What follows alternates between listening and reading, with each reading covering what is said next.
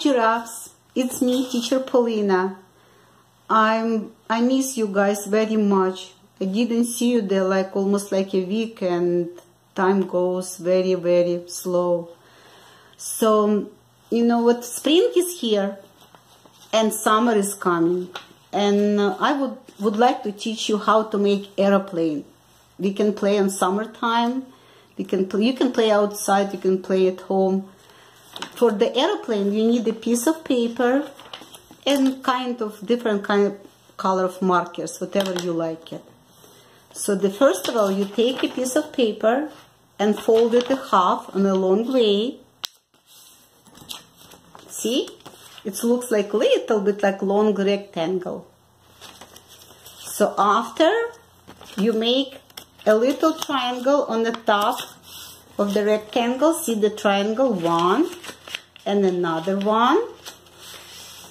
It looks like a little nose. Now it looks like an aeroplane but not yet. So we have to fold it again one more time. Make a sharpie nose. See like this one time and the other side another one so it's almost See, it's almost looks like an airplane. You open little bit, like open on the middle. You see? And you have to create them, you have to make a nose, not a sharpie nose. It's not gonna fly this the, we have to fold it over here little bit, like little, little triangle. You see this one triangle? And on the line, you can fold it, this part. It's almost like an aeroplane. It's almost done and one more time folding this part. I'm gonna show you which part. See this part again the wing is gonna be right good size size to to just fly. And one more another side. Okay see I folded another side. So our aeroplane is almost ready. See?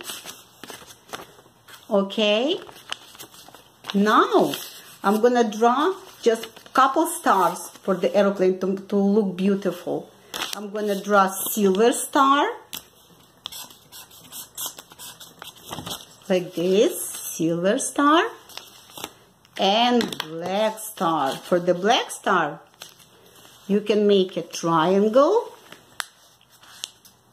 up, line on the center, and connect one and two ends and the star is ready. You see? The airplane is ready and you can fly. Okay guys, I hope I'm gonna see you soon, soon, soon. I love all of you guys. Bye-bye.